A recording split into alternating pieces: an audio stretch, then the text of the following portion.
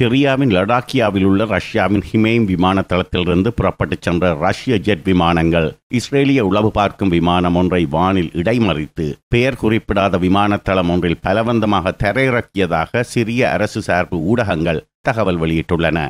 நேற்று ஞாயிற்றுக்கிழமை முப்பதாம் தேதி அதிகாலையில் இந்த சம்பவம் நடைபெற்றதாகவும் ரஷ்ய விமானங்கள் இடைமறித்த போது இஸ்ரேலின் உளவு விமானம் லெபனான் வான் பகுதியில் சிறிய எல்லைக்கு அருகே பறந்து கொண்டிருந்ததாகவும் அந்த ஊடக தகவலில் கூறப்பட்டுள்ளது.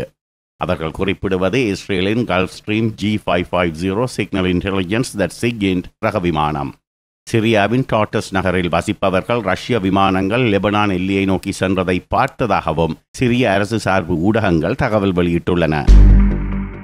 இந்த சம்பவம் நடைபெற்றதாக அந்த ஊடகங்கள் குறிப்பிடும் நேரத்தில் இருந்து இருபத்தி நான்கு மணி நேரம் கடந்துவிட்ட நிலையில் இதுவரை அப்படி ஒரு சம்பவம் நடைபெற்றதாக ரஷ்யாவோ இஸ்ரேலோ கூறவில்லை. இஸ்ரேலிய விமானத்தை வானில் இடைமறித்து பெயர் குறிப்பிடாத விமானத்தளம் ஒன்றில் பலவந்தமாக தரையிறக்கியதாக அந்த ஊடகங்கள் குறிப்பிடுவதன்படி லெபனானில் உள்ள ஏதாவது ஒரு விமானத்தளத்தில் இறக்கியிருந்தால் தகவல் வெளியாகியிருக்கும். அப்படி ஒரு சம்பவம் நடந்ததாகவும் தகவல் ஏதுமில்லை.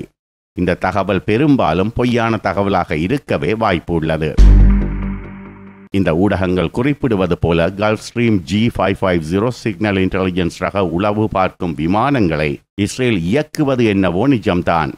இஸ்ரேலிய விமானப்படையின் ஒன் டூ டூ ஸ்குவாட்ரன் பிரிவால் அந்த விமானங்கள் இயக்கப்படுகின்றன. இஸ்ரேலின் நவாட்ரிம் என்ற இடத்தில் உள்ள விமானத்தளத்திலிருந்து இயக்கப்படும் விமானங்கள் அவை. அங்கு Gulfstream G five five zero ரகத்தில் ஐந்து விமானங்கள் உள்ளன. அவற்றில் மூன்று விமானங்களில் இவர்கள் குறிப்பிடும் சிக்கின் கருவிகள் உள்ளன என்பதும் உண்மைதான். சிக்கின் கருவிகள் பொருத்தப்பட்ட அந்த விமானங்களை சேமா அல்லது ஸ்பெஷல் எலக்ட்ரானிக் மிஷன் ஏர்கிராஃப்ட் என்பார்கள். ஆனால் சிறிய அரசு சார்பு ஊடகங்கள் குறிப்பிடுவது போல ஒரு சம்பவம் நடைபெற்றிருக்க பெரும்பாலும் வாய்ப்பு இல்லை. முன்பும் இது போன்ற ஒரு சம்பவம் நடந்ததாக சிறிய அரசு சார்பு ஊடகங்கள் கடந்த மே மாதம் இருபத்தி எட்டாம் தேதி தகவல் வெளியிட்டிருந்தன. அந்த தகவலை மறுநாள் ரஷ்ய ஊடகங்களும் வெளியிட்டன. அப்போது இஸ்ரேலின் எஃப் சிக்ஸ்டீன் ரக விமானத்தை ரஷ்யாவின் எஸ்யூ தேர்ட்டி ஃபோர் ரக விமானங்கள் லெபனான் வான் பகுதியில் வானில் இடைமறித்ததாக அந்த தகவலில் கூறப்பட்டிருந்தது. அது குறித்து ரஷ்ய பாதுகாப்பு அமைச்சகம் அப்போது வெளியிட்ட அறிக்கையில் அது ஒரு சிறுபிள்ளைத்தனமான கற்பனை. எமது விமானங்கள் லெபனான் வான் பகுதியில் ஒருபோதும் பறப்பதில்லை என்று கூறப்பட்டிருந்தது. இப்போது வெளியாகியுள்ள இந்த தகவலும் அது போன்ற ஒரு கற்பனையாக இருக்கவே வாய்ப்பு அதிகம்.